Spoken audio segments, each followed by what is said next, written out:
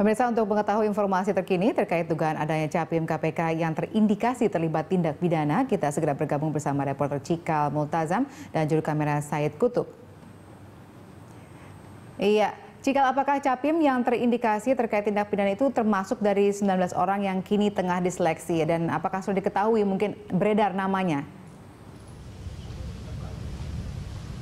Menurut informasi yang kami dapatkan dari kabar reskrim Komjen Pol Budi Waseso Valerina, sampai dengan saat ini pihak kepolisian atau Polri masih belum menerima atau mengantongi 19 nama yang telah lolos seleksi atau direkomendasikan oleh tim pansel KPK. Dan ini bisa diartikan Valerina bahwa sejumlah nama-nama yang disebutkan oleh uh, Budi Waseso terkait dengan atau terjerat uh, pidana umum dan juga uh, terjerat korupsi masih berada di antara 48 nama yang saat ini uh, masih dire, uh, masih dalam proses pemilihan dari uh, tim pansel dari KPK.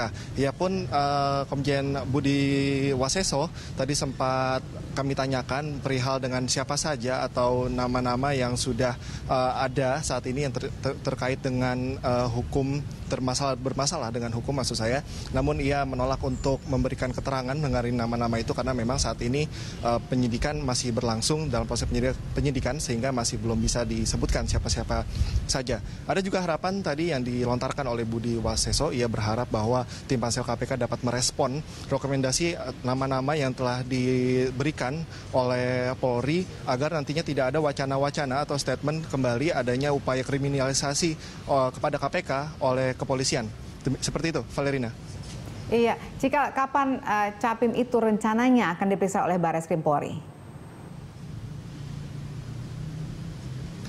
Valerina meskipun Komjen Budi Waseso tidak tidak belum bisa menyebutkan nama-nama atau siapa saja yang terjerat permasalahan hukum ini, namun ia tadi sempat mengkonfirmasi bahwa ada satu nama dari calon pimpinan KPK yang akan ditetapkan sebagai tersangka dalam waktu dekat ini. Meskipun ia juga tadi tidak menyebutkan secara pasti kapan waktunya akan nanti ditetapkan sebagai tersangka. Namun satu hal yang pasti Valerina bahwa dalam waktu dekat ini pihak dari Polri akan uh, mengumumkan satu nama dari Capim KPK yang sudah terjerat atau dalam sudah dengan status tersangka. Valerina. Baik, terima kasih Cikal atas laporan Anda. Pemirsa demikianlah Cikal Mutazam dan juru kamera Said Kutub melaporkan langsung dari Mabes Polri.